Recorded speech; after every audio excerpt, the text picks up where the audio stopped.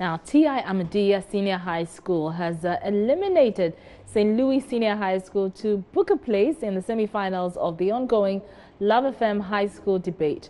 Well, the score was 229 points to 216.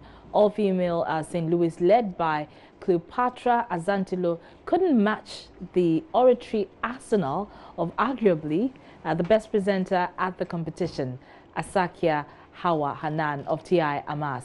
The motion was, our prisons are reformative enough. Kwesi Debra reports.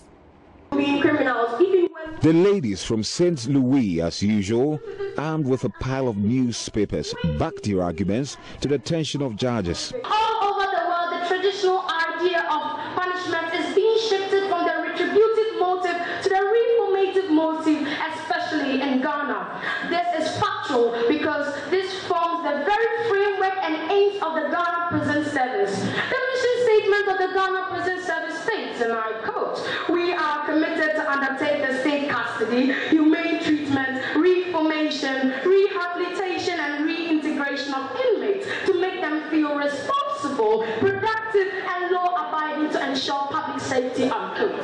The chair, if this is the mandate of the Ghana Prison Service, why is it lost on that the mandate of the prisons is to reform our individuals? Mr. Chairman, punishment meted out to prisoners serve as a form of reformation and not a form of retribution, and this is done out of love. According to Abundance Robert K. Awologotu, Correction Officer of the Ghana Prison Service, he said, and I quote, we are fair and firm and discipline them with love when they break prison rules, unquote. Not only lack basic drugs and equipment, but they require vehicles to convey. However, audio-visual evidence submitted by T.I. Amas proved decisive. Our prisons rather breed homosexuals. I guess this is what my opponents call reformation. The chair, every normal adolescent or adult has natural sexual needs. Yes, my opponents, you heard me, sexual needs. Sex, the chair, is identified by Abraham Maslow as a basic need, just like food, shelter, and the like. Thus, keeping fully grown adults in confinement for several years and denying them these basic needs leaves them with no other alternative but to find another way to satisfy this need. School join them as a Earlier in a battle of sexes, Opoku Ware School triumphed over Yaa Asantewaa to pick the first semi-final ticket with a score of 150 points to 144.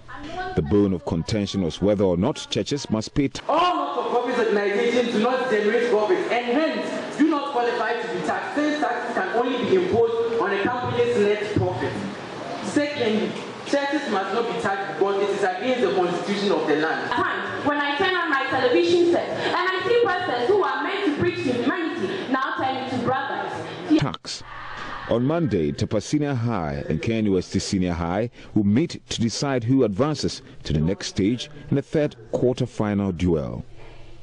Reporting for Joy News, Kwesi Debra.